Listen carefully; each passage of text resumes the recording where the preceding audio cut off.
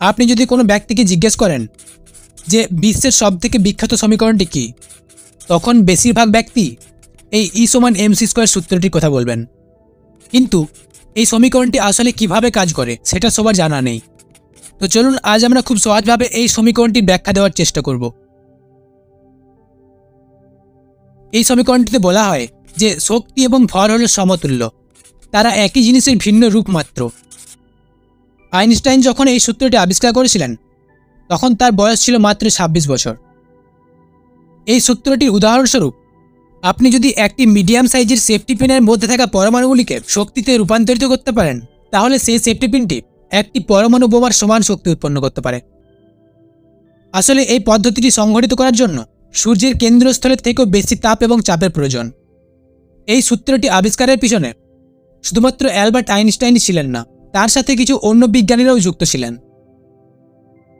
এখন দেখা যাক এই সূত্রের ইটি কোথার থেকে এসেছে। মাইকেল ফেরাডে এবং হামফ্রে ডেভি একদিন ল্যাবের মধ্যে কাজ করার সময় একটা অদ্ভুত দৃশ্য লক্ষ্য করেন। তারা দেখেন যে কোনো বৈদ্যুতিক তারের মধ্যে বিদ্যুৎ পাঠালে আর সেই তারের কাছে কম্পাস রাখা হলে সেই কম্পাসটির দিক পরিবর্তন হয়ে যাচ্ছে। তারা তখন এই কারণের ব্যাখ্যা খুঁজে পাচ্ছিলেন না। অনেক রিসার্চ করার পর তারা এটা বুঝতে পারেন যে কোনো পরিবাহী তারের মধ্যে দিয়ে বিদ্যুৎ পাঠালে তার চারপাশে চৌম্বক ক্ষেত্রের সৃষ্টি হয়। এর থেকে তারা বুঝতে পারেন যে বৈদ্যুতিক শক্তি এবং চৌম্বক শক্তি হলো পরস্পর সম্পর্কযুক্ত। আর এর সাথে তারা পৃথিবীর প্রথম বৈদ্যুতিক মোটরও তৈরি করে ফেলেন। আর এখান থেকে অ্যালবার্ট আইনস্টাইন তার সূত্রের সত্যের অনুসন্ধান পান। তিনি বুঝতে পারেন যে কোনো শক্তিকে ধ্বংস বা নষ্ট করা যায় না। সেই শক্তিকে শুধুমাত্র অন্য শক্তিতে রূপান্তরিত করা যেতে পারে। এবার আসি এম সমান ম্যাস বা ভরের ব্যাপারে।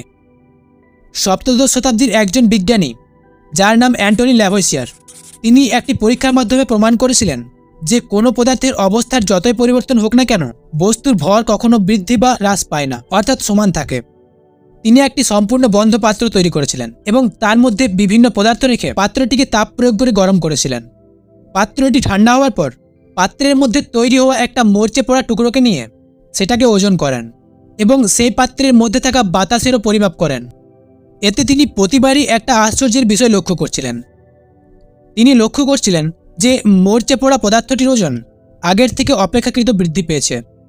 এই ব্যাপারটিকে তিনি প্রাথমিকভাবে বুঝে উঠতে পারছিলেন না।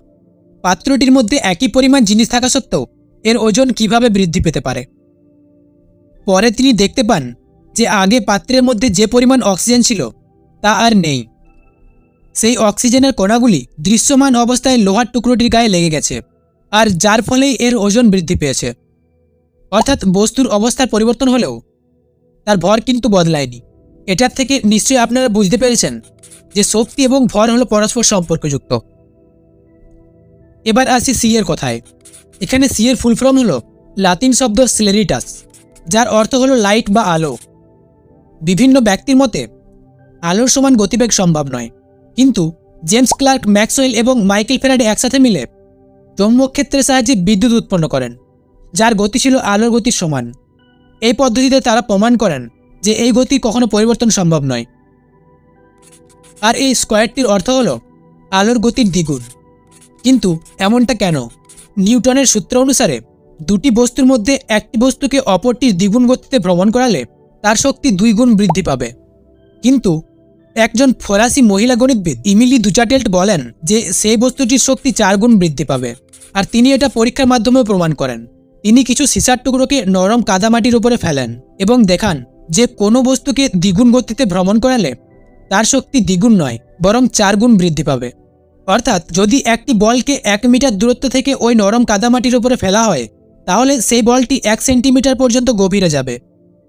আবার ওই বলটিকে যদি দুই মিটার উচ্চতা থেকে ফেলা হয় তাহলে সেটি নিউটনের সূত্র অনুযায়ী দুই সেন্টিমিটার গভীরে যাওয়ার কথা।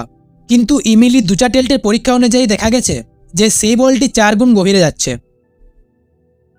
আইনস্টাইন এখানে কনফিউজড হয়ে যাচ্ছিলেন, কিন্তু তিনি এটা জানতেন যে ভর এবং শক্তি একই, অর্থাৎ শক্তি সমান ভর এবং ভর সমান শক্তি।